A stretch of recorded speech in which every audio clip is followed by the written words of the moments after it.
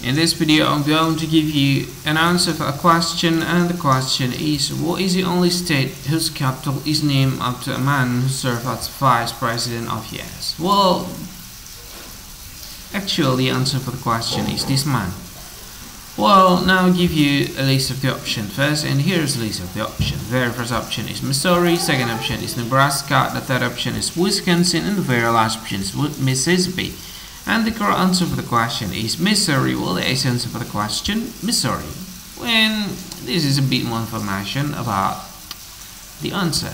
The capital of Missouri is Jefferson City, named after Thomas Jefferson, who served as the third Vice President of the United States under President John Adams from 1797 to 1801. Thomas Jefferson is also well known for being the principal author of the Declaration of Independence and later uh, and later serving as the President of the United States. Jefferson City was named in honor of Thomas Jefferson as a tribute to his significant contributions to the early years of the United States and his role in shaping the nation's history. Is the answer for the question, Missouri. Hi, thank you so much for watching this video.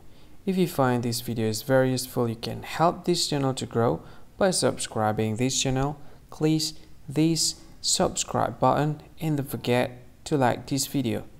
And if you find this video is not really good or you don't really like this video or you kind of feel that it's a little bit offensive or something like that you can click this one dislike button. You can do that anyway and if you want to share this video with your friend you can share it by clicking this share button and you can share it to any any social media that you wish that is currently available at this time like Facebook, Twitter, LinkedIn, and many others. Right? And if you want to add this video to your playlist, you can click this one. You can watch this video later and you can find more options by clicking these three dots.